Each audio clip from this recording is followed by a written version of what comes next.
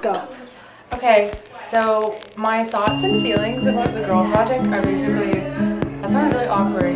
Oh well, we're just gonna keep rolling. It's gonna be edited, so it's cool.